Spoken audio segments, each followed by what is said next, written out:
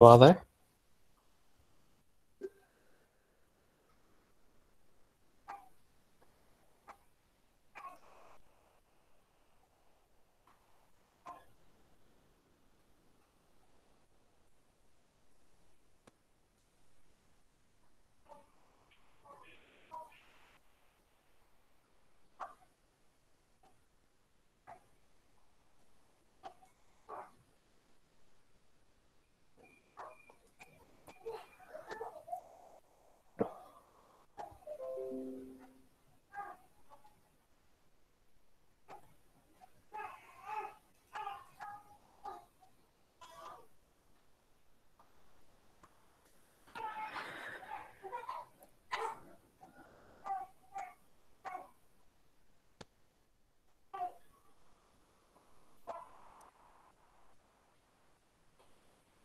يعني إيش قد نبدي إيش قد يوصل العدد؟ 89 يلا ننتظر شوي. هسه بلغتهم دكتور هسه راح يطلع. يلا okay. صوتي واضح؟ واضح واضح دكتور. okay.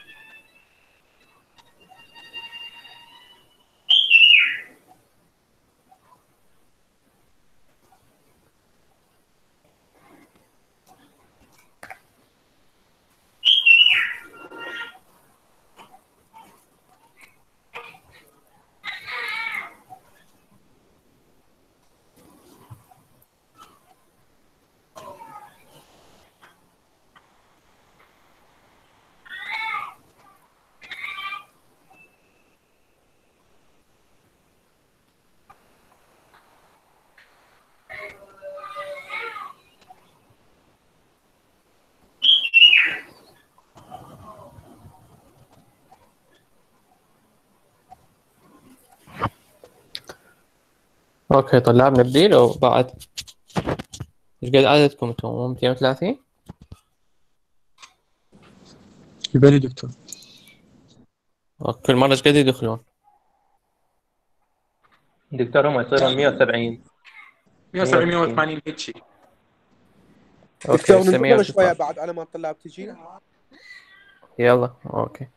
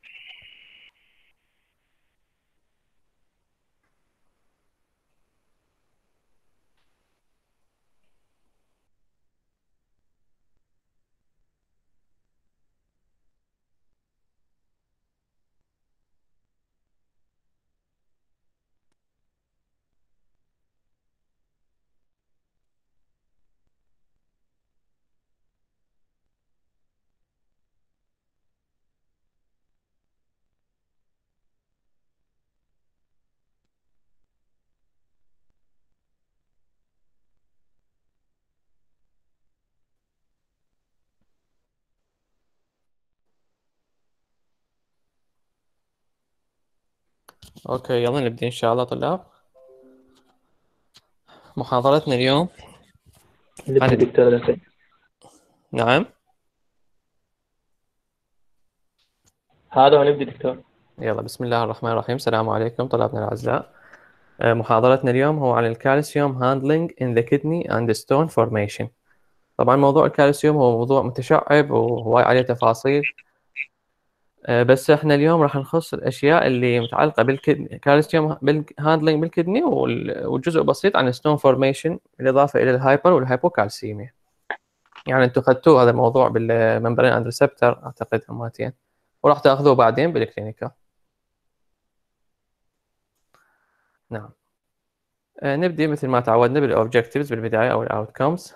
اللي مطلوب من عندنا شنو؟ هو first describe the process which allows the kidney to regulate calcium and phosphate يعني شنو الخطوات اللي الكدني تسويها على مود تسوي regulation للكالسيوم والفوسفات و describe how the kidney regulate calcium excretion شلون يصير calcium excretion و describe how calcium levels in the plasma are regulated by hormones شنو دور الهرمونات بالregulation مال الكالسيوم و describe the processes that can lead to stone formation هاي هي الفور main objectives بالبداية نحكي عن الكالسيوم والفوسفات دائما الكالسيوم والفوسفات مرتبطات واحد بالثاني.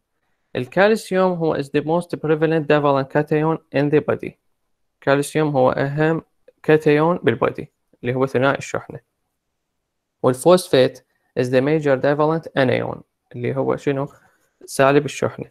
okay؟ ال- الشحنة يعني ناقص اثنين الشحنة مالته هو أهم واحد. البوث found mainly in the bones دائما الكالسيوم والفوسفات أكثر شيء موجودات بال bones وهسه نشوف التوزيع مالتهن شلون يصير most bone is being continuously resorbed and rebuilt at a slow rate طبعا ال bone هو من يتكون مو ثابت لا اكو عملية هدم وبناء و osteoblastic activity هاي العملية مستمرة أوكي فشو نقول a more rapid bone surface exchange of calcium and phosphate maintain plasma levels of these ions. بناء عملية البناء مال العظام مال ال bones هي عملية مثل ما قلنا مستمرة. فهو ال- bones من تتكون من الكالسيوم أكثر شيء والفوسفات فهذه العملية هي عبارة عن شنو؟ exchange process للكالسيوم والفوسفات هذا التبادل بالكالسيوم والفوسفات بين ال bone وبين other tissue هو اللي يحافظ على ال levels مال هذه الإيونات. بس نشوف التوزيع مالتهم شلون يصير. طبعا البلازما values of these of the two ions are inversely related يعني الليفلز مال الكالسيوم والفوسفات يتعاكسن يعني من واحد يصعد ثاني ينزل شلون يعني نقرأ وبعدين نشوف يقول because a rise in calcium or phosphate cause some precipitation of calcium phosphate into bone with a fall in phosphate or calcium respectively يعني شنو؟ يعني أنا من يصعد عندي الكالسيوم لأي سبب من الأسباب إيش راح يسوي هالكالسيوم؟ راح الرغبة دائما يتحد ويا الفوسفات فمن يتحد ويا الفوسفات إيش راح يسوي؟ راح يسوي راسب ترسب اسمه calcium phosphate بال bone.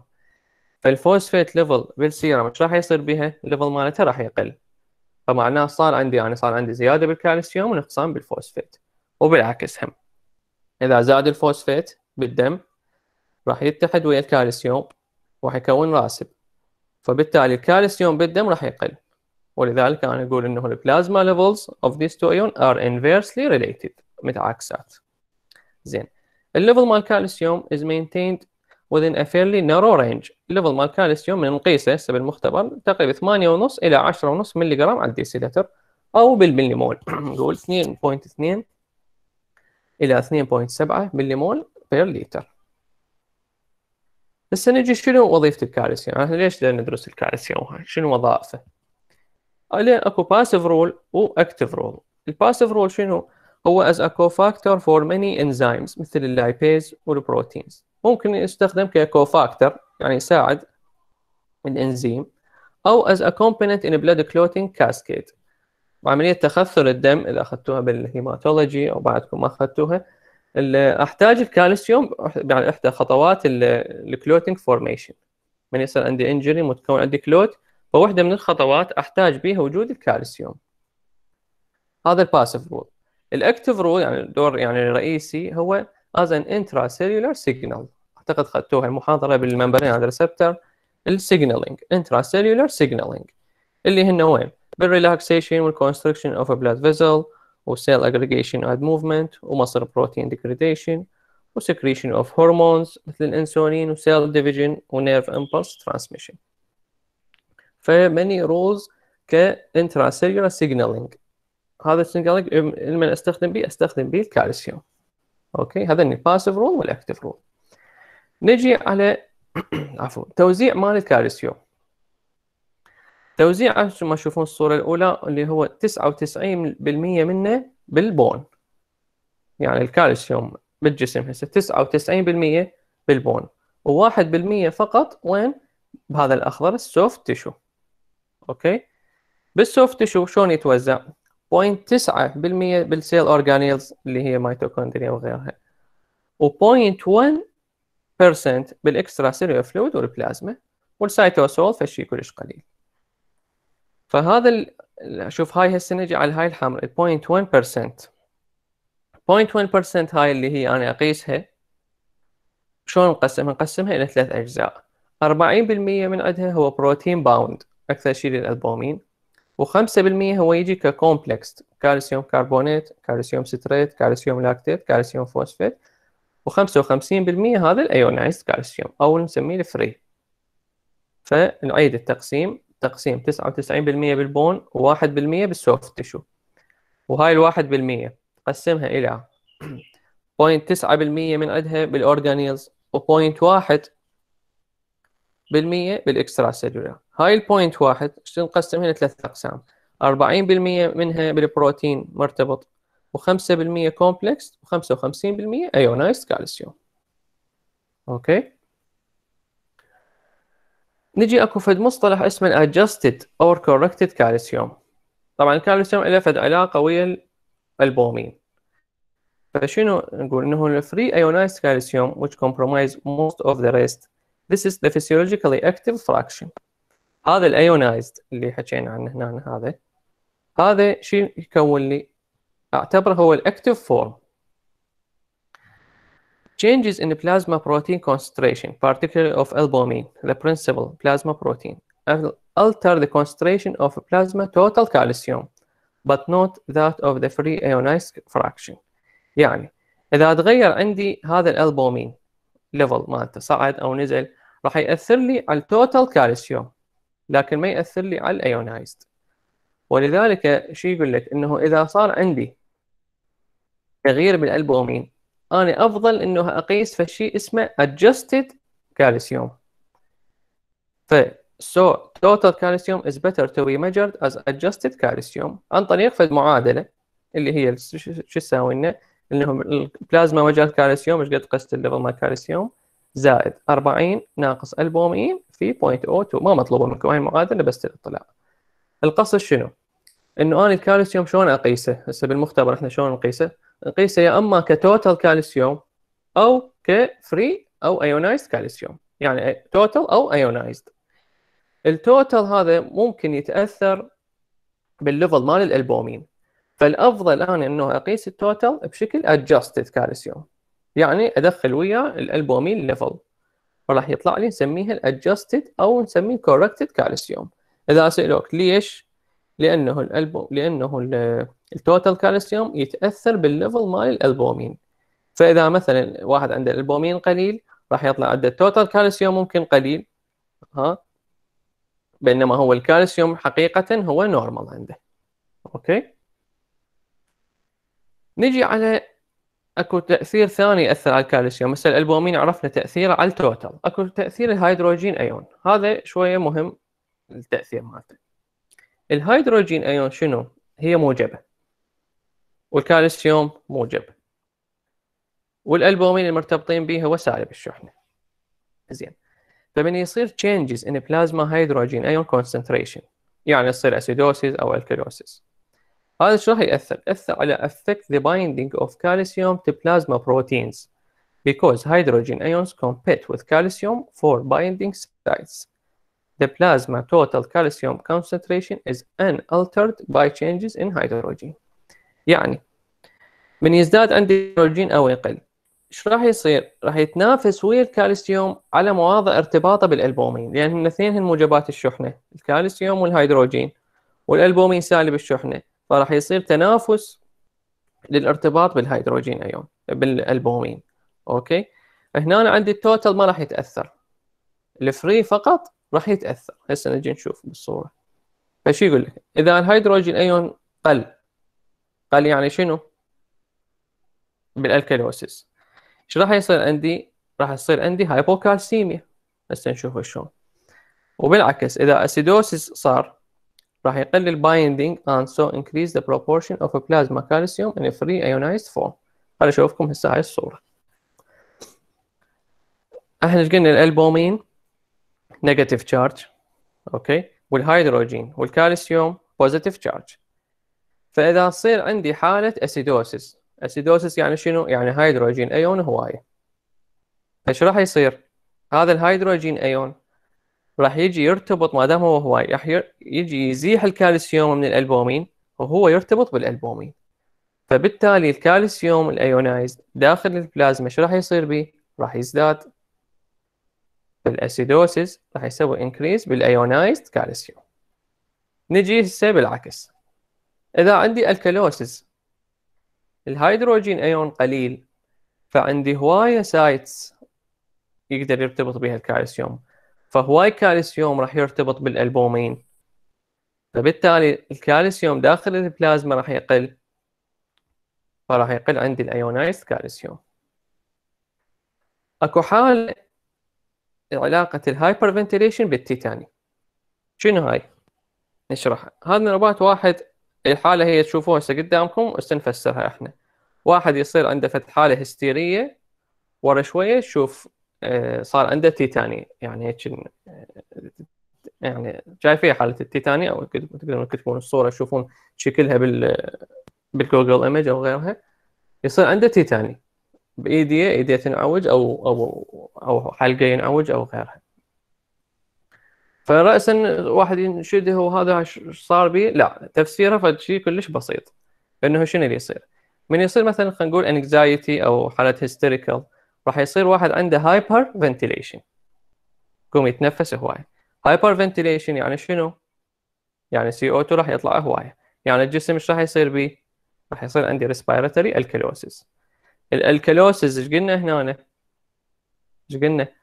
راح يقلل عندي ال ionized calcium لأنه الجوم calcium هواي يرتبط بالالبومين فيقل ال calcium داخل البلازما فيقل عندي ال ionized calcium راح يصير عندي hypocalcemia فيصير عنده tetany. لأن هي أحد أعراض هسه نجي عليها ال hypocalcemia هو ال tetany. فهذا علاجه شو نسوي له؟ بنقول له نعطيه كيس يتنفس به على مود يتنفس CO 2 ترجع عنده يروح ال alkalosis يصير ترجع normal ال pH مالته. يرجع ال calcium normal يروح من عنده ال tetany. okay؟ نعيدها على السريع. أنه بحالة ال acidosis شو يصير. هواي هيدروجين راح يرتبط بالالبومين. والكالسيوم راح يطلع للبلازما فراح يزداد ionized calcium. بال alkalosis قليل هيدروجين راح يرتبط بالالبومين فهواي كالسيوم راح يرتبط بالالبومين. فراح يقل الكالسيوم بالبلازما فراح يصير عندي يقل ال ionized calcium. مثال هاي الحالة هو شنو؟ بحالة ال anxiety أو أي شيء يؤدي إلى hyperventilation يعني واحد يتنفس هواية راح يطلع CO2 هواية. راح يصير عندي respiratory alkalosis هذا ال alkalosis شيء يؤدي إلى إنه الكالسيوم راح يرتبط هواي بالالبومين فراح يقل عندي ال ionized calcium وراح تصير عندي حالة hypocalcemia ونسميها tetany إذا نعيد. ال hydrogen ion حالته تأثر على ال ionized calcium. بينما الألبومين حكينا هذيك الساعة يأثر على من على ال total calcium. هذين العلاقتين مهمات خلوهن ببالكم. نجي على ال phosphate. ال phosphate هم مثل الكالسيوم 90% تقريبا مثل 90% بال skeleton 5% intracellular وأقل من 0.003 هو بال extracellular تركيزها 0.8 إلى 1.2 ما مطلوبة منكم الأرقام ولا التوزيع بس عرفوا النسب. 50% هي bound و50% هي free okay؟ نجي على ال handling of calcium by the intestine قبل ما نروح لل kidney أحكي شوي على ال intestine بالامعاء طبعا أول شيء ال absorption هو under control of vitamin D ال absorption مو passive يعني مو أي كالسيوم أنت تاخذه راح راسا يصير له امتصاص. لا من يتحكم بهذا الشيء هو ال vitamin D 20 إلى 40% of dietary calcium is absorbed and some secreted back into the gut. يعني فقط 20 إلى 40% من اللي آكل على الكالسيوم هو امتصه بالإضافة إلى أنه أكو secretion لل gut فشي كلش قليل 2 إلى 5 ملي مول طبعا ال absorption يزداد وين؟ بال growing children على مود بناء العظام وبالحامل pregnancy وال lactation and decrease with advanced age. زين. أكو شيء اسمه complexing calcium مثلا with oxalate نوبات يجي الكالسيوم بعض الأطعمة ويا ال oxalate هذا شيء يسوي reduce its absorption because calcium oxalate is insoluble. فنوبات أنا أخذ الكالسيوم بشكل يجي بعض الأطعمة تحتوي على calcium oxalate هذا ما ممكن امتصه لأن هي calcium oxalate هذا كملح هو insoluble فما ممكن امتصاصه.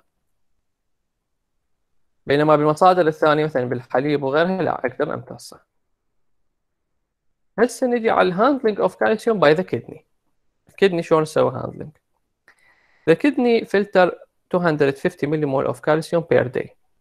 تقريبا 250 ملي يطلع من الكالسيوم بال kidney 95 الى 98% of which is reabsorbed يعني شوف reabsorption كلش عالي 98% giving a urinary calcium excretion of of less than 10 millimole per day فشوف طرح الكالسيوم بالكدني كلش قليل زين of the filtered calcium 70% is reabsorbed in the proximal tubule 70% بالproximal tubule امتصح and further 20% in the thick ascending limb of the loop of Henle هاي إيش قد صار؟ هسه 90% هذا الامتصاص ذني 90% this reabsorption is mainly passive and paracellular and driven by sodium and water reabsorption. هذا passive ما يحتاج هرمونات ولا active transport يعني يحدث بسلاسة عن طريق ال paracellular بين يعني بين الخلايا يصير الامتصاص هذا هسه منو؟ بال proximal tubule 70% هسه راح نجي نشوف صورة. وبال thick ascending 20% بقت عندي 5 إلى 10% هذا reabsorbed in the distal tubules and there is only minor reabsorption in the collecting duct. Calcium reabsorption in the distal tubules is active and transcellular and is the major target for hormonal control. هاي ال 5 إلى 10% امتصاصها وين يصير؟ وين؟ بال بال distal tubules okay؟ وهذا هو active active يحتاج إلى شنو؟ يحتاج إلى هرمونات. okay؟ نجي هسه. ال calcium reabsorption in the distal convoluted tubule. ال calcium enter the cell هسه راح نجي نشوف صورة. enter the cell through epithelial calcium channel. نشرح إحنا نحكي بعدين نرجع على الصورة. الكالسيوم يدخل الخلية بال distal convoluted خلال channel اسمها epithelial calcium channel that are activated by parathyroid hormone. هاي ال channel من يحفزها ال parathyroid hormone بعدين شنو transported across the cell داخل الخلية عن طريق calcium binding protein اسمه شنو؟ ال calbindin ينقل داخل الخلية عن طريق بروتين اسمه ال calbindin زين. The expression of this protein is upregulated by vitamin D. هاي البروتينات ال expression مالتها يزداد بال vitamin D. زين. بال basolateral surface ال calcium is transported out of the cell بعدين شنو يطلع من الخلية عن طريق فشي اسمه plasma membrane calcium ATPase PMCA. وأيضا عن طريق exchanger اسمه sodium calcium exchanger. وطبعا هاي ال calcium ATPase is regulated by vitamin D و parathyroid hormone هسه عندنا الفوسفات. خلينا شوي نحكي على الصورة. وبعدين نرجع للفوسفات. تشوفون هسه هاي الصورة مال النفرون؟ بالبداية عندي هاي ال proximal tubule إيش قلنا؟ 70% من الكالسيوم. هاي الصورة. 70% من الكالسيوم paracellular okay؟ ما بي مشكلة. بعدين نرجع على الفوسفات. بال thick ascending limb هماتين paracellular هذا ما بي مشكلة. نجي على هاي ال distal tubule. ال distal tubule 5 إلى 10% من الكالسيوم. شوفوا وياي هاي الصورة. أول شيء عندي channel. هاي ال channel قلنا إيش سميناها؟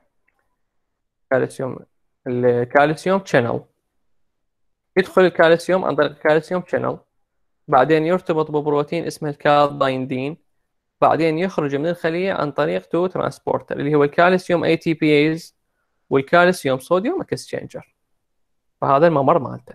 هاي الخطوات من يحفزها؟ تحفيز ال channel وال transporter ال parathyroid hormone يحفز هاي الخطوات.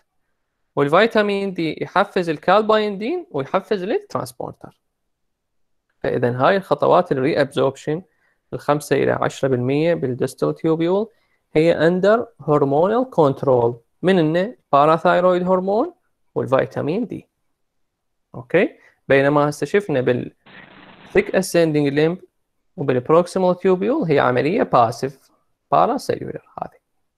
passive نرجع على الفوسفات الفوسفات 80% دكتور عيد هاي two القنوات هسه خلينا نشرح الفوسفات ونرجع نعيدها الفوسفات 80% بال proximal tubule هي absorption by a transcellular process transcellular apical phosphate entry is by co-transport with sodium okay عن طريق sodium phosphate co-transporter This transport is down regulated by parathyroid hormone.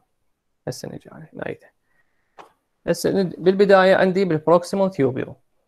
هاي proximal tubule. الكالسيوم امتصاصه 70% هذا 70% paracellular. بال thick ascending limb الكالسيوم 20% امتصاصه هم paracellular. هذا مثل ما تشوفوا بين الخلايا. يعني هذا شنو؟ ما يحتاج طاقة ولا هو passive يصير. بدون يعني بدون أي energy راسا يصير له absorption بال distal tubule 5 إلى 10% من الكالسيوم يتم امتصاصه. عن طريق هاي ال distal tubule شنو؟ ثلاث خطوات. الخطوة الأولى يدخل عن طريق calcium channel دخل للخلية. داخل الخلية يرتبط ببروتين اسمه ال calbindin. بعدين يخرج الخلية من الخلية بطريقين. طريق ال calcium ATPase هذا البنفسجي وطريق ال calcium sodium exchanger هذا الأزرق. فهذا ال pathway مالته. هذا ال pathway يتحفز عن طريق هرمونين اللي هن ال parathyroid hormone والفيتامين دي. ال parathyroid hormone يحفز ال channel ويحفز ال transporter. والفيتامين دي يحفز ال protein binding ويحفز ال exchanger هذا عفوا ال transporter. okay؟ الفوسفات ال reabsorption مالتها هنا يصير.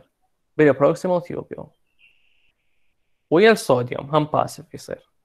لكن شنو هذا؟ ال reabsorption inhibited by parathyroid hormone شوفوا الفرق عن الكالسيوم.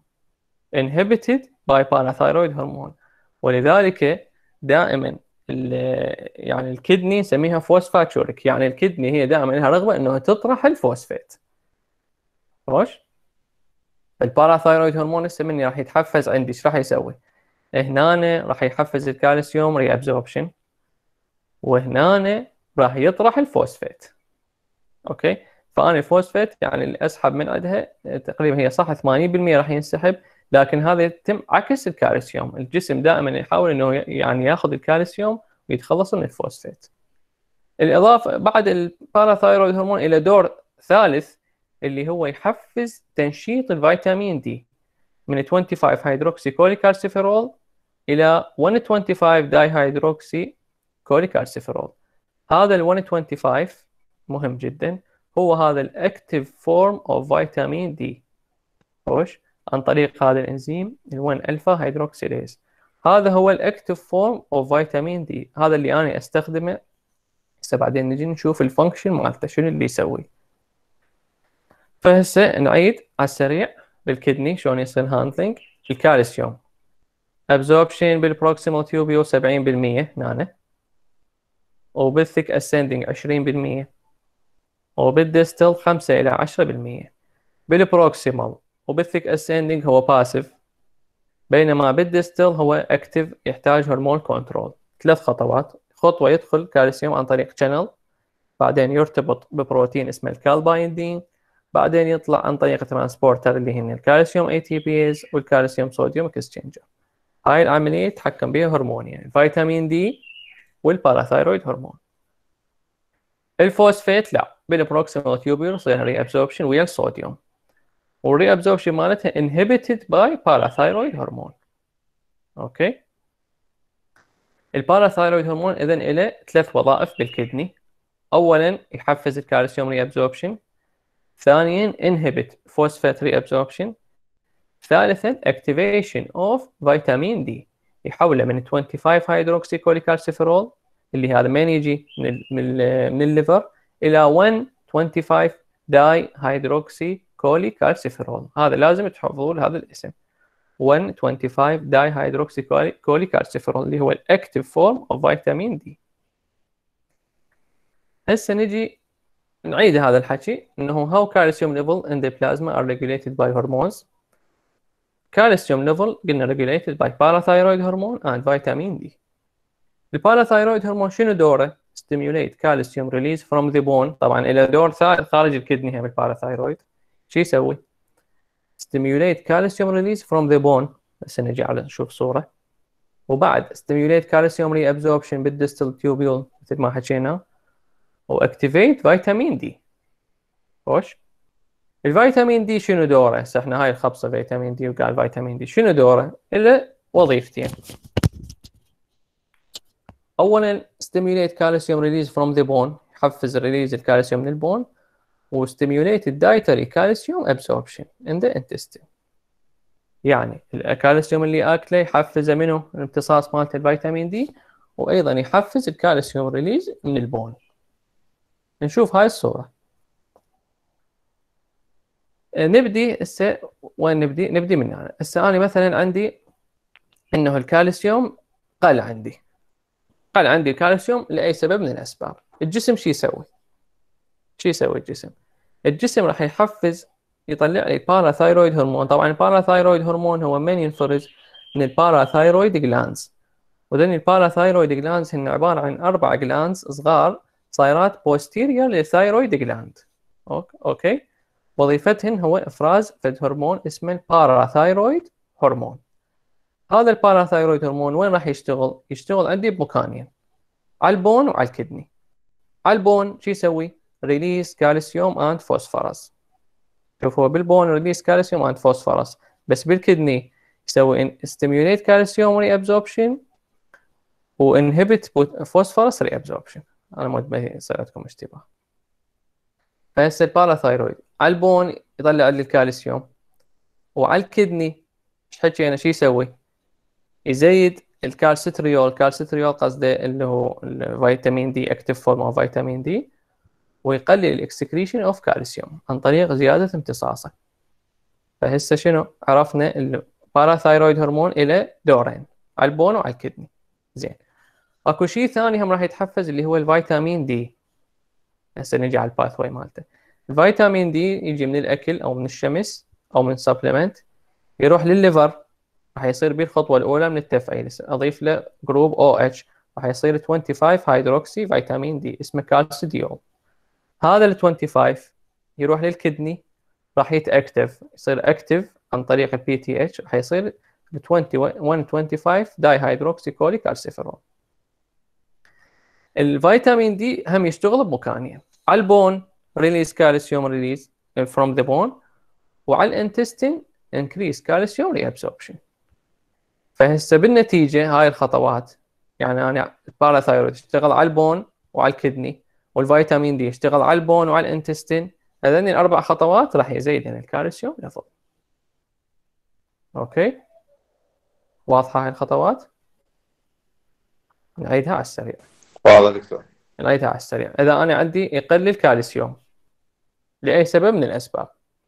راح يتحفز أنا عندي شغلتين parathyroid hormone والفيتامين دي parathyroid hormone يشتغل بمكانين. على ال bone يطلع الكالسيوم. وعلى ال kidney يشتغل شغلتين. يحفز الفيتامين دي يأكتفه وبعد شنو؟ يزيد ال calcium reabsorption هذا ال parathyroid الفيتامين دي يجي على ال kidney يتأكتف. يشتغل هم بمكانين. على ال bone release calcium وعلى ال intestine يزيد ال absorption هذني الأربع خطوات راح يرجعن ال calcium level لل normal ويرجع feedback إنه okay وقف فيتامين PTH وقف فيتامين دي يرجع ال level normal هسه تسألون سؤال بعد إذا زاد ال level مال الكالسيوم شلون يصير التحكم؟ هسه نجي عليه عن طريق. هاي شوي قليلة إنه تصير إنه ال level يزداد وأنا أشغل pathways أهم شيء يعني شوف الجسم شوف كم خطوة خال أربع خطوات وكم هرمون كم كذا على مود إنه يحافظ على مستوى الكالسيوم. إذا قل لازم يرجع لل normal. لكن إذا ازداد مو كلش مهم. أكو فد pathway مال كالسيتونين هسه نجي عليه. مو مثل هذا ال pathway أهميته. ال calcitonin ال calcitonin هذا شنو؟ هو هم هرمون produced in the C cells of the thyroid gland هرمون يطلع من ال... اكو cell اسمها C cell بال thyroid gland هذا وظيفته شنو decrease osteoclastic activity slow calcium release from the bone inhibit calcium reabsorption in the kidney عكس ذنيجه inhibit dietary calcium absorption in the intestine لكن هو شنو less important than parathyroid hormone in physiological homeostasis شوفوا هذا وظائفه عكس ذنيجه بالضبط إنه promote deposition of calcium in the bone. هذا ذنيجه ال parathyroid و vitamin D يطلع عن الكالسيوم من ال bone. هذا لا يزيد الكالسيوم بال bone ويقلل امتصاصه من الأمعاء ويقلل ال reabsorption مالته بال kidney. okay؟ وبالتالي ذني ثلاث أشياء من راح يسويهن؟ فمن يصير عندي hypercalcemia راح ممكن يرجع ال level لل normal لكن هي هاي قليلة عندي. إنه يصير hypercalcemia ونشغل الكالسيتونين أنا أهم دائما بالغالب تصير حالة hypocalcemia. فالجسم مسوي ذنيجه ال pathways two pathway مال ال parathyroid هرمون ومال ال vitamin D. فهذا less important الاهميه مالته less important than PTH و vitamin D. شوي نحكي عن vitamin D طبعا هو مو ضمن ال objective لكن هو موضوع مرتبط بالكالسيوم ومهم ووايد يسمعون به. ال vitamin D هسه كل هالناس ضاجة به سمعوا حتى هسه بالكورونا العلاج مالتها تعطي ال vitamin D بجرعه عالية 50000 unit. ليش هاي؟ ال vitamin D له فد يعني many functions مو بس بالكالسيوم. هسه أشوفكم هاي الصورة. إنه هو اولا enhance immune system وراح أحتاجه بالامتصاص مال الكالسيوم ولل healthy thyroid function و prevent depression and anxiety و neuromuscular function فهوايه multifunction هذا ال vitamin D فشي سحري. لكن بالضبط كل وحده من ذني شلون تصير ال mechanism؟ لحد الآن هي ما معروفة. يعني ال pathway مال الكالسيوم مبين واضح. بس تاثيره على المناعة وعلى ال thyroid وعلى ال depression ذني يعني لسه يعني less well less well organized. لكن هو يعتبر في شيء هسه لحد الآن كلش مهم. يعني هسه إحنا عندنا بالمختبر يعني من كل 100 تحليل نقيس ال vitamin D تقريب 70 إلى 80 تحليل من عندهم يطلع ال level لو أقل ال 20 حتى ثاني ذاك اليوم قست النفسي طلع عندي 12 يعني فد نسبة نقص vitamin D عندنا خاصة بالعراق بالشرق الأوسط بال Arab population كلش عالية. شنو السبب؟ ما حد يعرف. السبب بالرينج السبب وين؟ ما ندري شنو المشكلة. يعني حتى إنه مثلا يجي واحد عنده أعراض غريبة يا بيك؟ والله تعبان مرهق ضايج تسوي له مثلا vitamin D يطلع قليل. فهسه هي ضجة هواي على ال vitamin D بقياسه وباستخداماته ك supplement حتى هسه قلت لكم بالعلاج الكورونا هم يدخلوه ضمن البروتوكول تعطي vitamin D 50000 unit. فأنا أنصحكم جميعا أنتم يعني خاصة مثلا أبائكم وأهلكم إنه تسوون هذا التحليل لأنه أكو هواي أعراض هن non-specific شوفوا يعني بس fatigue عنده أو وجع بعضلاته أو فد anxiety أو كذا قيس له vitamin D يطلع لكن المشكلة إنه العلاج مالته يراد له فترة ثلاث أشهر تعطيه supplement يلا يرجع ال level لل normal okay؟ نحكي على ال pathway مالته vitamin D منين يجي؟ يا أما عن طريق ال sunlight ال sunlight اكو شيء بال skin اسمه 7 dehydrocholesterol فعن طريق ال sunlight راح يتحول إلى كوليكالسيفيرول لكن أعتقد هي مو الشمس هاي مالتنا. هاي الشمس مالتنا كلش حارقة وال UV light مالتها عالي. يكون الشمس بمناطق معتدلة وتتعرض يكون ال body exposed إلى تقريبا فترة نص ساعة باليوم. بينما هسه إحنا تقدر هسه نص ساعة توقف بالشمس؟ ما تقدر. تكون المناطق معتدلة يعني نص ساعة باليوم كلش كافي إنه تحصل آه، vitamin D من الشمس. okay؟ فقلنا من ال skin 7 dehydrocholesterol راح يتحول إلى cholecalciferol D 3 هذا ال D 3 وين يروح؟ يروح للل liver. وأيضا من يجيني ال D 3 من الأكل من ال fish وال meat وغيرها. ومن ممكن ال vitamin ال D 2 من ال supplement. وهسه أكو supplement هي بها D 3 نفسها. فممكن يجيني كشكل supplement. وممكن من ال diet من الأكل وممكن من الشمس ال D 3 ذني وين يروح؟ عن يروح عن ال liver. بال liver إيش راح يصير به الخطوة الأولى من التفعيل. أضيف ال group مال OH فش نسميه؟ 25 hydroxy vitamin D بعدين نروح لل kidney. هم تنضاف له بعد OH ثانية. نسميه 125 dihydroxy vitamin D هو هذا ال active form مال الفيتامين دي خوش؟ هاي ما مطلوبة منكم بس مجرد الاطلاع إنه شنو أسباب نقص الفيتامين دي ممكن انه metabolic abnormalities ممكن sedentary lifestyle regular use of sun block ممكن نسوي low stomach acid طبعا mechanism unknown وهو طبعا هو fat soluble vitamin فاللي يصير عندهم liver dysfunction أو gallbladder dysfunction أو malabsorption ممكن يصير عندهم vitamin D deficiency فهسه مثلا اللي اللي يسوون إنه عمليات قص المعدة. شوية يصير عندهم نوبات malabsorption of vitamin D فيقولوا له لازم تعوض فيتامينات. Okay؟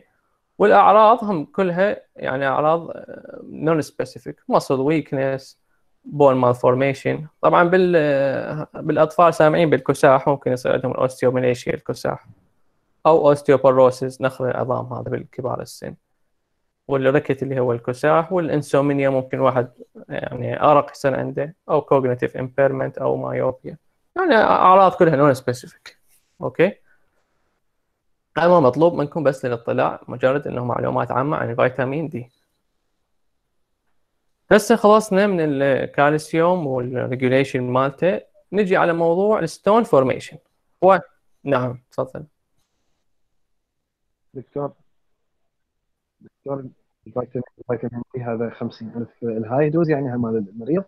لو ال daily supplement هو هذني حسب ال level مالته حسب ال level. يعني هم اللي ياخذ إيه. الإنسان طبيعي لو هذا المريض اللي هو الانسان هو تقريبا الطبيعي تقريبا 50 إلى 2000 unit per day يعني هاي اللي نحصل إحنا من الأكل ومن الشمس.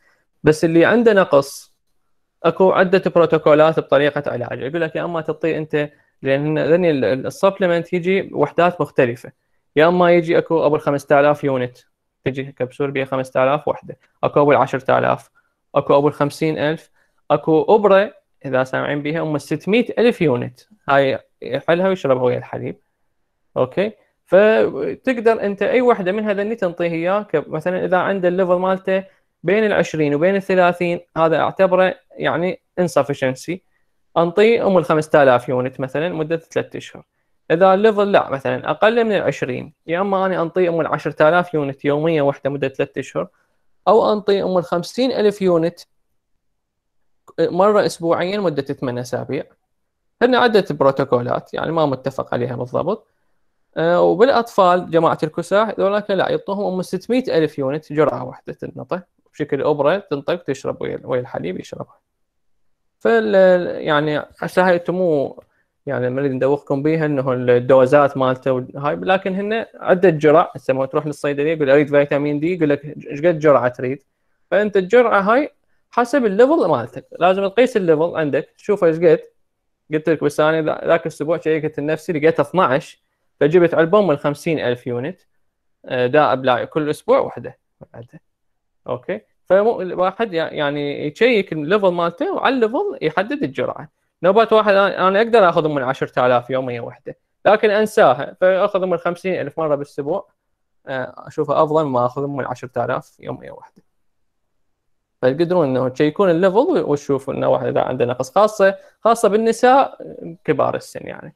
يعني فوق يعني فوق ال 35 واي كل هواي عندهم vitamin D deficiency زين. نحكي على ال stone. سامعين بال stone هذا عنده حصوة بالكلى وكذا وهاي شنو ال stone ومين يجن وهذا؟ طبعا هذا الموضوع راح تاخذوه بالب... يعني بال بعدين إن شاء الله بال بال phase 2 هاي بتفاصيل أكثر وتروحون مركز تفتيت الحصى وتشوفون على حقيقة المريض شلون يجي وشلون يعالجوه. لكن كشيء مبسط و... وبدائي جدا على هذا الموضوع. نريد بس نعرف أنواع ال stone شنو شلون يعني من تركيبهن شنو شنو ال process تؤدي إلى تكوينهن. أنا عندي خمس أنواع رئيسية من ال stone. أو الحقيقة ان أربعة اللي هن الكالسيوم ستون واليوريك أسيد ستون والستروفيت ستون والسيستين ستون. ال calcium stone معناها هي مكوناتها من الكالسيوم. هاي بيها نوعيتين. يا أما هي ال stone شنو؟ هي أملاح. تتجمع تصير بشكل حصى. ال calcium stone أكو نوعيتين. يا أما ملح ال calcium oxalate أو ال calcium phosphate. وعندنا ال uric acid stone. وعندنا ال struvite stone ال struvite stone هذه هي هم أملاح لكن هذه تصير دائما ويا ال infection ويا ال UTI وعندنا الشيء rare اللي هو ال cystine stones هاي لا هذه congenital فد abnormalities تؤدي إلى تكوين هاي اسمها ال cystine stones شوفوا نسبة الكالسيوم oxalate stone 80% وال uric acid 5 إلى 10% إحنا هنا عندنا بالعراق لا ال uric acid stone أعلى نسبتها لأنه بسبب الحر. dehydration وكذا نسبتهن أعلى. آه، نشوف هاي الصورة اللي كل وحدة النسبة مالتها وال invisible X-ray مالتها وال risk factor وال secondary causes ما مطلوبة منكم بالتفاصيل لكن بس نريد فكرة إنه تعرفوا الأنواع الرئيسية الأنواع الرئيسية ومنه كمان وفد risk factor لكل وحدة من عندهن. نجي على الكالسيوم stone قلنا نسبتها 80% بالعراق أقل طبعا. ال urate أكثر. visible on X-ray نعم. من نستوي X-ray تلقاها visible شنو ال risk factor؟ ال risk factor هو زيادة الكالسيوم زيادة البي اتش زيادة ال oxalate نقصان ال citrate ال citrate هاي مادة هي تمنع ال stone formation أوكي؟ ال citrate و decrease volume يعني بال dehydration طبعا الكالسيوم أكو أكو إيش قلنا؟ مو أكو calcium oxalate و calcium phosphate. ارتباط اكو فد شيء فد موضوع خلوا بالكم ال stone ويا ال pH stone بس شوي ركزوا وياي ال stone ويا ال pH ال uric acid stone. وال cystine stone. أوكي؟ وال calcium oxalate stone هذني دائما ويا ال acidic pH بينما ال struvite stone وال calcium phosphate هاي سجلوها يمكم ويا ال alkaline pH اعيدهم ال calcium oxalate ويا ال acidic pH يعني ال alkaline يعني ال urine إذا صار acidic تصير أكو يعني ممكن يتعرض إلى يعني يهيئ إلى ترسيب الكالسيوم stone. وأيضا ال uric acid stone وال cystine stone. بينما ال calcium phosphate ويا alkaline pH والإضافة إلى ال struvite stone. فاحنا هسه بنقيس تحليل بنسوي تحليل ادرار للمريض. أكو في الجزء اسمه البي اتش البي اتش يا اما تطلع عندي alkaline أو acidic أو neutral ال urine pH هي شنو؟ wide range تقريبا من الأربعة ونص للثمانية. اللي تعتمد على إيش قد الجسم يطرح من ال hydrogen ion. لأنه الجسم هو يطرح hydrogen ion فمو ثابت البي اتش فنوبات أكو بيهم يصير عندهم ال urine دائما acidic فليصير عنده ال urine دائما acidic يكون معرض للإصابة بال uric acid stone وال calcium oxalate stone. بينما اللي اليورين مالتهم دائما ألكلاين ذول يكونوا معرضين للإصابة بالستروفيت ستون اللي هي انفكشن ستون أو كالسيوم فوسفيت ستون. أوكي؟ رياض احمد شنو السبب مال هذني يعني ليش هذني لهم علاقة بالكلوسيس ذاك الكلوسيس لأنه الترسيب يعني قم يعني هو حسب المكونات الكيميائية لها إنه من يعني فالشغله هي كيميائية يعني كيميكال يعني السبب مالتها. إنه إي ما دام من تقل يصير الوسط حامضي اللي يقوم تترسب ال uric acid وال calcium oxalate تترسب أكثر. بالوسط القاعدي لا ال calcium phosphate تترسب أكثر. يعني هي شنو؟ تصير التغييرات كيميائية بال bonds وغيرها فيصير ترسيبها أكثر بالأوساط مثل ال calcium phosphate بالوسط القاعدي يصير ترسبها أكثر. فلذلك إنه تتجمع بشكل تبدي أول شيء يسموها شلون بالبداية واحد من يسوي يقول عندك رمل بعدين هذا الرمل يتجمع يصير بشكل حصى. أوكي؟ واضح دكتور عشيد إي.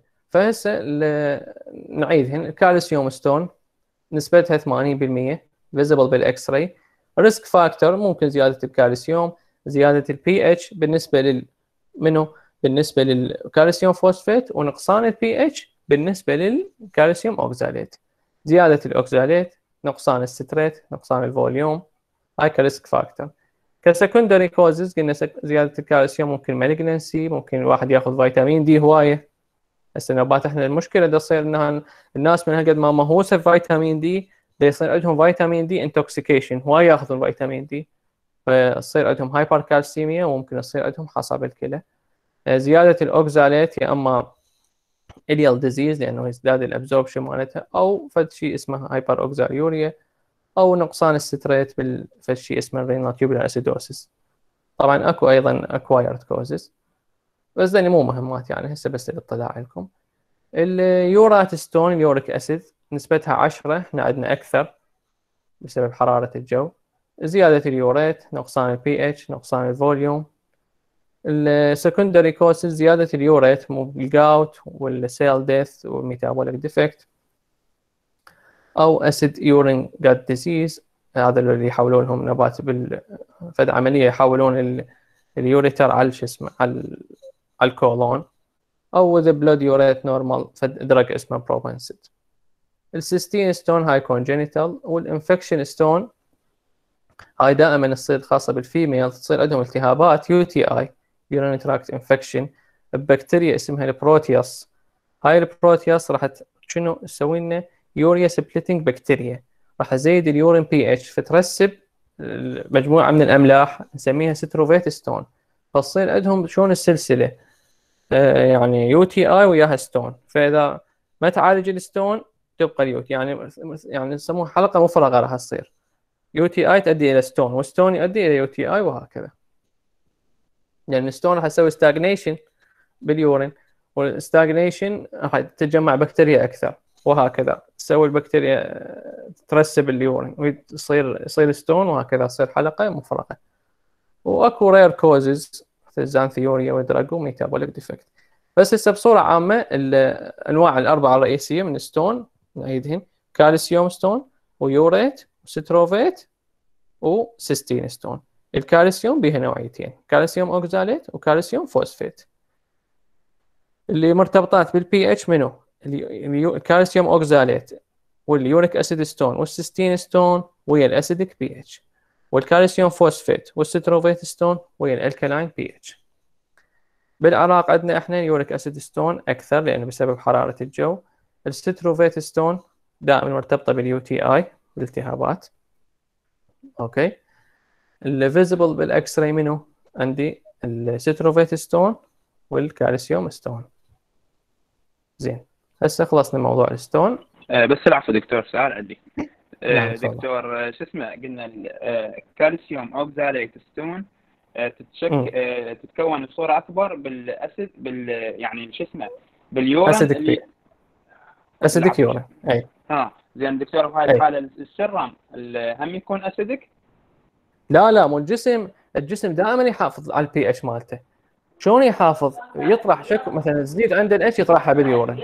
ال urine خلي تتغير ال pH مالته ماكو مشكلة. خلي يصير acidic خلي يصير alkaline فالجسم دائما البي اتش مالته ثابتة. إذا تتغير تصير مشكلة تصير أعراض مثل ما أخذتوها. فمنو عندي اللي المكان اللي يفرغ به هو ال urine؟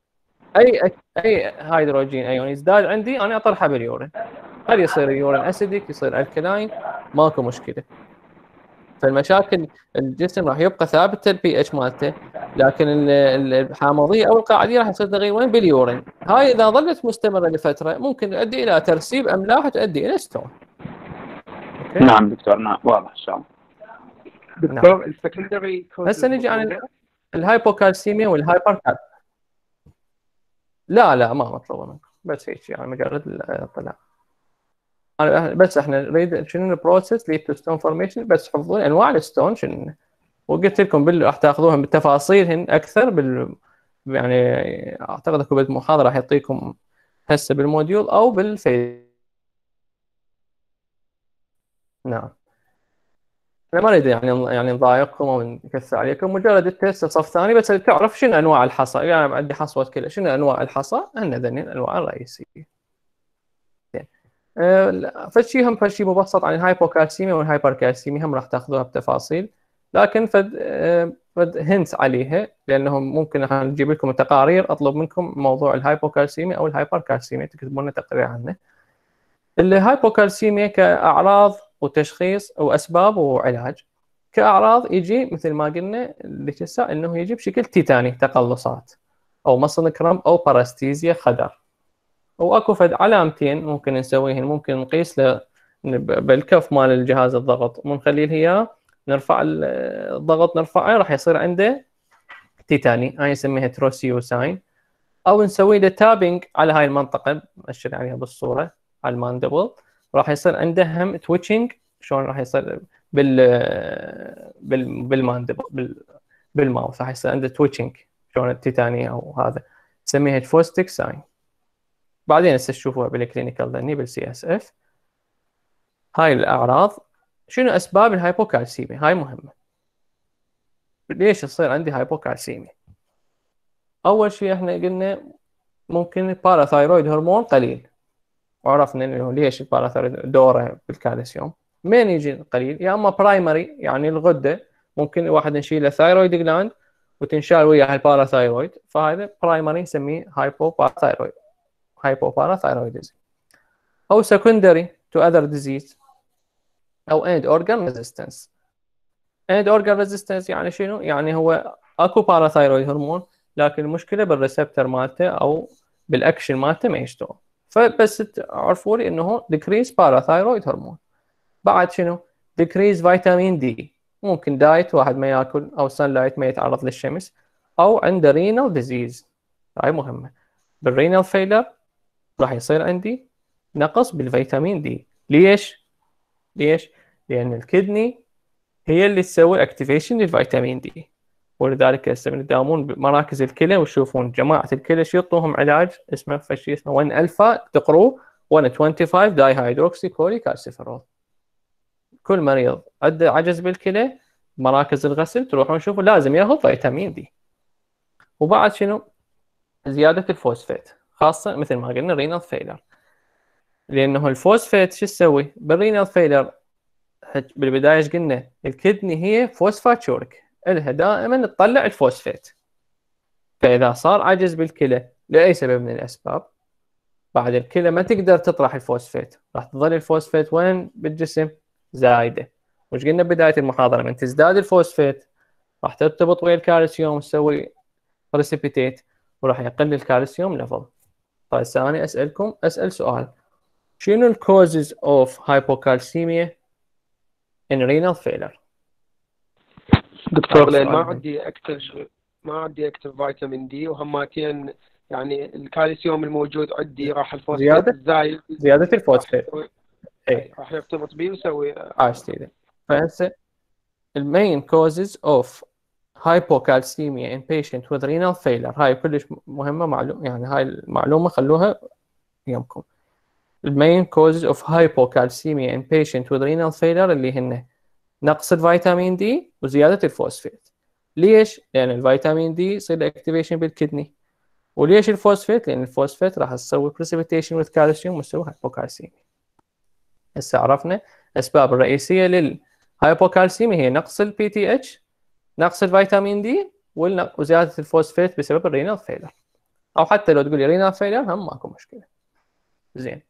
ال hypercalcemia أعراضها شوية يعني يعني غريبة متباعدة واحدة عن الثانية. ممكن يجي بشكل depression يصير عنده و pain يعني يسوي لهم فد ulcer يصير vomiting أو ulcer و renal stone لأنه زيادة ال calcium راح يسوي ترسبات ويسوي حصى بالكلى.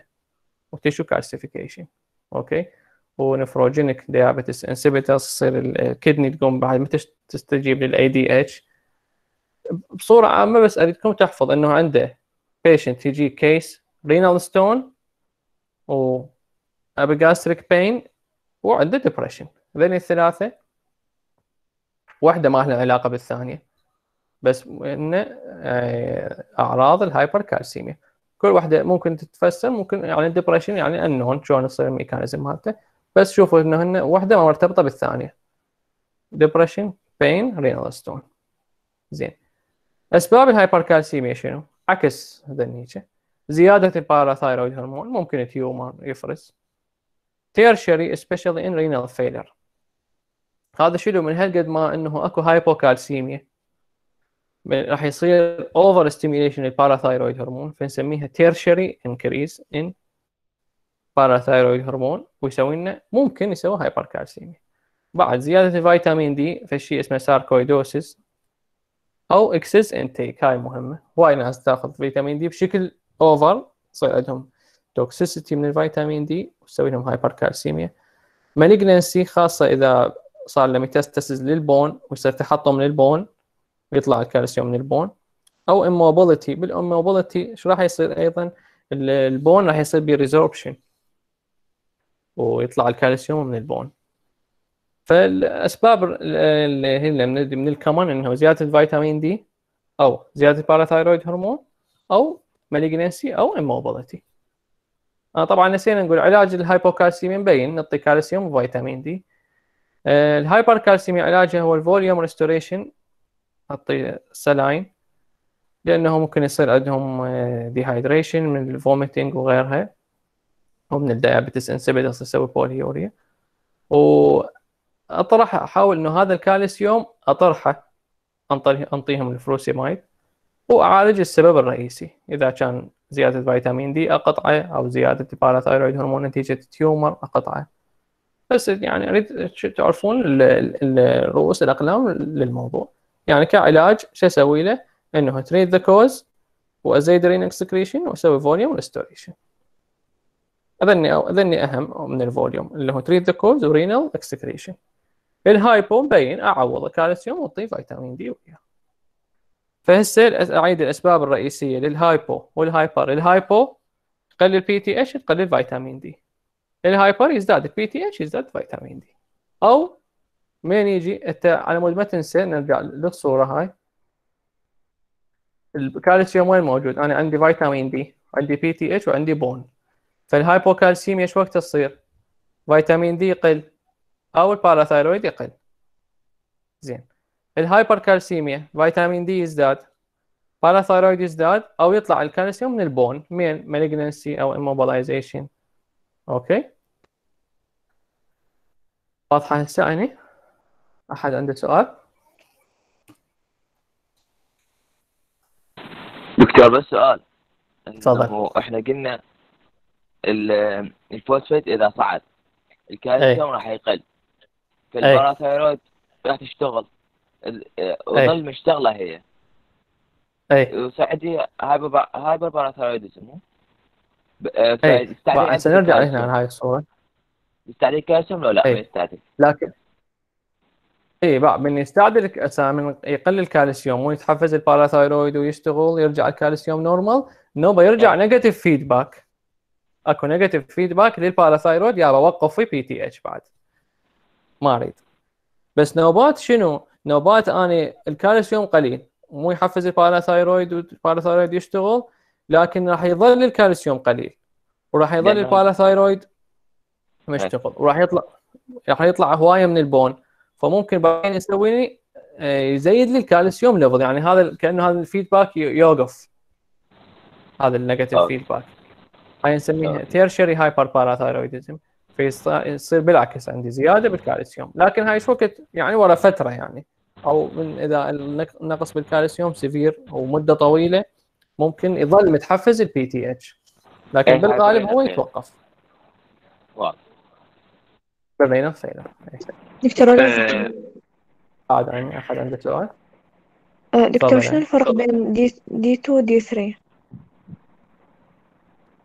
هو ال D 2 يجي قبل ال D 3 اللي يسمونه ergocalciferol بعدين ب mechanism ثانية الصورة راح يتحول إلى D 3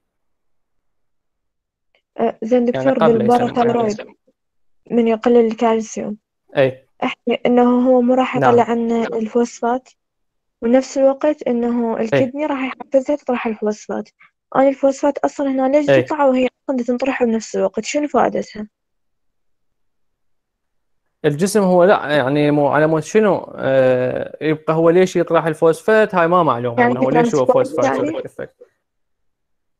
بس على مود شنو يصير في التوازن بيناتهم لأنه بلي. بلي دكتور كمل عفوا. نعم. أه، كمل أي. كمل. يبقى هسه هو ال parathyroid بهاي الصورة. مو يطلع لي من ال bone كالسيوم وفوسفيت؟ وهي هم منطقية. ال parathyroid يطلع من ال bone كالسيوم وفوسفيت. هذني إذا بقى اثنيناتهن بالدم راح يسوون ترسب. فأنا لازم أتخلص من واحد منهن. أتخلص من الفوسفيت. على مود أبقى أنا محتاج بس للكالسيوم. هيك. فأنا مثلا نعيد قل عندي الكالسيوم. مو راح أحفز ال PTH ال PTH بهاي الصورة يشتغل على ال bone يطلع كالسيوم وفوسفيت. بس أنا من أطلعهن الاثنين هن راح يتحدن وكأنه ما سويت شيء فأطرح الفوسفيت وأبقي الكالسيوم اللي أنا محتاجه أكثر. دكتور أنا زحمه بس عيد لي ال tertiary okay. يعني. ال tertiary شنو؟ بس إنه أنا عندي hypocalcemia hypocalcemia إيش راح أسوي؟ راح أسوي زيادة بال اي راح أسوي زيادة بال parathyroid hormone okay؟ وهاي ورا فترة شو راح يصير؟ ال parathyroid hormone يزيد لي الكالسيوم ويرجع الكالسيوم طبيعي. خوش؟ واضحة هسه هاي هنا بلي بلي واضحه زين. زين. إذا ظل الحافز مستمر يعني ظلت ال hypocalcemia وظل ال PTH يزداد okay؟ راح تصير ورا فترة زياده راح يظل الكالسيوم صاعد يعني كأنه هذا ال pathway مال ال negative راح يروح. هذا ال pathway مال ال negative feedback راح يتوقف. راح تصير عندي نسميها tertiary hyperparathyroidism يعني الزيادة من جاية جاية بسبب نقص الكالسيوم مستمر فظل الحافز مستمر مال ال parathyroid hormone راح يبقى عالي وبالتالي ورا فترة راح يسوي لي hypercalcemia يقوم بالعكس يصير عاشت دكتور وضحت؟ وضحت عاشت يدك دليل. دليل. دكتور بلا زحمه حضوركم؟ ها العفو مال الحضور. اي هسه الله يعطيك ممنون. آه، دكتور عندي سؤال بلا زحمة. إيه تفضل. دكتور ممكن تعيد شلون نقيس نسبة الكالسيوم؟ وليش يعني نقيس ال adjusted calcium level هسه ثواني وهم دكتور عندي سؤال ثاني يعني وصل الرابط أي أي. آه، دكتور يعني من غير محاضرة. تفضل دكتور الرابط. دكتور. نعم إيش بيه الرابط؟ مسدود الرابط. الوقت ما انت مسدود. ثواني يا دكتور ها ما هو قال لي نزله ب 11 ونص. اوقف خلي أسوي لكم واحد ثاني. انتظروني ثواني ما عندي شيء دكتور براحتك. اي نسينا أخذنا الوقت ونسيت أنزله. إي نعم شنو كان السؤال؟ على ال adjusted دكتور اي على adjusted calcium level يعني؟ ال adjusted انه لأنه الكالسيوم مرتبط بالألبومين. فأني الألبومين أي تغييرات تصير بي ممكن تأثر على الكالسيوم. فلذلك أنا نبات total calcium من أقيسه نبات الألبومين متغير. فش أسوي؟ أدخله في المعادلة مثل ما شفتوا هاي المعادلة آه، على مود شنو؟ أوخر التأثير مال الألبومين. يعني حتى لو قال الألبومين ما يأثر علي أوكي؟ نعم دكتور واضح زين دكتور العفو سؤال ثاني. دكتور آه، ممكن توضح شنو هي ال uremic syndrome uremia هي renal failure هي renal failure نعم دكتور. اللي هي شنو؟ إنه هي الكلية شنو وظيفتها؟ الكلية بها عندها هواي وظائف. من من ضمن هاي الوظائف إنه هي التخلص من اليوريا والكرياتين. هاي اليوريا من تجي؟ تجي من ال liver تتكون عن طريق ال urea cycle ما ادري إذا أخذتوها بالهذا بال metabolism. أوكي؟ فالكلية وظيفتها تطرح هاي اليوريا. والكرياتين أيضا من يجي؟ يجي من ال muscle. من يصير عندي عجز بالكلى. تقوم ال ال بس خلينا نكمل هذا ال... الكلية بعد ما تطرح اليوريا والكرياتين فشلون أعرف أنا ال patient عنده عجز بالكلى؟ أقيس اليوريا والكرياتين ألقاهن صاعدات ال level مالتي يعني اليوريا ألقاها فوق ال 45 والكرياتين فوق ال 1.4 ملي جرام على الديسيلتر. زيادة اليوريا على فترة طويلة ممكن هاي اليوريا وين؟ هي تعتبر مادة سامة. تترسب بال tissue راح يسوي لي uremic syndrome طبعا الحالة نسميها uremia وورا فترة من تسوي أعراض ثانية تترسب بال tissue تأثر على الهرمونات وغيرها وغيرها نسميه uremic syndrome. هو هذا ال uremic syndrome. وحالة زيادة اليوريا بالدم نسميها اليوريا uremia uremia من تجي؟ تجي من ال renal failure جزيل الشكر دكتور كلش واضح إن شاء الله. دكتور بس ال sarcoid شنو علاقته بال بال hypercalcemia؟ هو هذا ال sarcoidosis فد شيء أه بس ثواني بس خليني أكمل هاي راحتك دكتور. اي بس أكمل هاي ال form وساجاوبك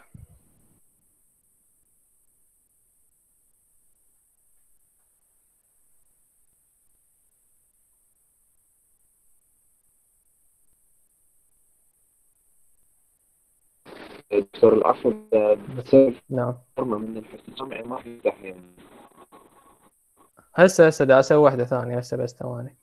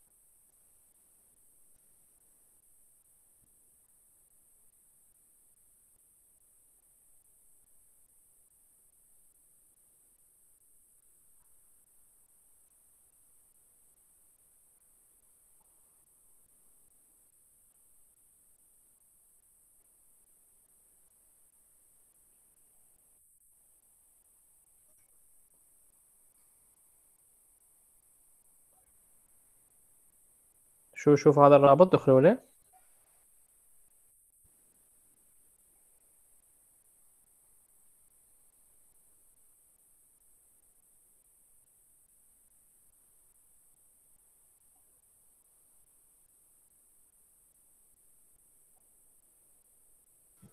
اي اشتغل هذا ما بيش